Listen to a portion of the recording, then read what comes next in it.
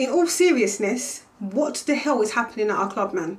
It's been a long time coming. I said this was going to happen. We had the vision. We saw that Arsenal was going to be on a downhill spiral. I've been saying it from seasons ago that we're not going to improve under this manager. And it's beginning to get worse. That's five games now without a win. We've entered 2018 without a win. That's another lo lower team coming to beat us. And it's not a surprise anymore. These teams expect to beat us. Oh, we got Arsenal at home. It's nothing.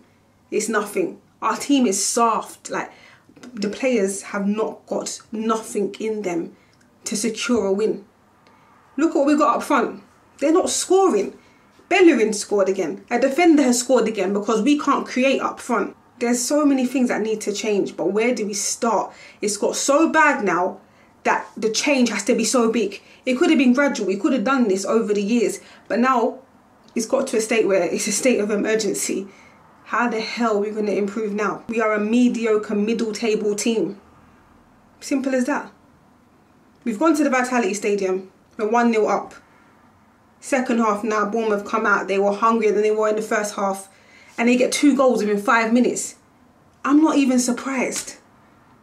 I'm not even surprised, bro. On the positive, Lacazette played 90 minutes out of position.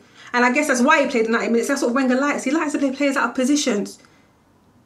Lacazette's getting so fed up of not being fed. No one's feeding him the ball. No one's using him. That he's pushed himself back to a creative mid creative midfield player. That's what it seemed like today. He was one that was trying to create chances instead of instead of finish them because no one was trying to use him. It's all over the place. There's no structure. Arsene Wenger took off a defender for Aaron Ramsey, and then we conceded a goal. Arsene Wenger is selling to the likes of Man United again. Something he said he wouldn't do again. Now, who, who on earth are we going to get to replace the likes of Alexis and possibly Ozil?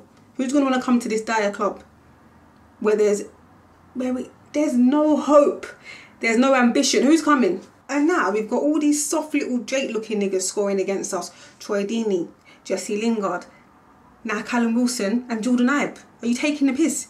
I genuinely feel like Arsene Wenger is taking the royal piss out of all of us fans. That is how I actually feel because all of these decisions that he's making is not sitting too well with me, and I'm guessing it's not sitting too well with you either.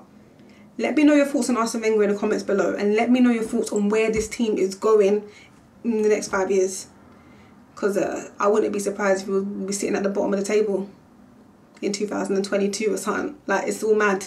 It's all mad.